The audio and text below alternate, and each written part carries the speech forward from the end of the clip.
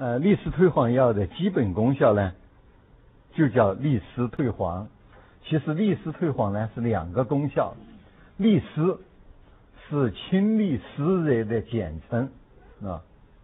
利湿是清利湿热的简称。那么这个退黄呢是利胆退黄的一个简称，所以把清利湿热和利胆退黄把它合并在一块儿，那么这个功效呢叫做。利湿退黄，那么只有这样子理解以后呢，那么对这个药的这一类的药的应用呢，才比较准确。因为它首先它是一个清利湿热的药，所以它除了湿热黄疸可以用以外，其他的湿热病症，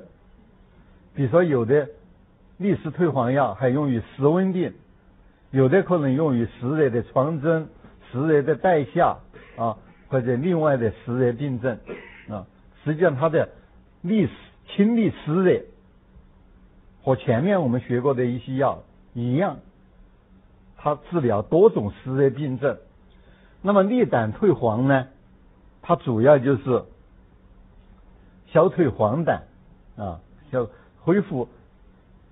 肝胆的疏泄功能，使胆汁的排泄。能够正常啊，所以是这个嗯黄黄疸的症状减轻或者消除。所以有的利湿退黄药，它治疗的不一定是湿湿热引起的黄疸，比如说有的是湿浊偏盛引起的黄疸，或者是这个寒湿的黄疸寒症的，那么它主要用来利胆退黄，那么它加上一些温性的药或者利水。除湿的药主要不在清热，所以这一类的药物的清利湿热和利胆退黄呢是可以分开的，是两个功效。所以这样呢，对认识这一类的药物的这个临床应用比较方便啊。所以我们书上呢，有的药是把它分开，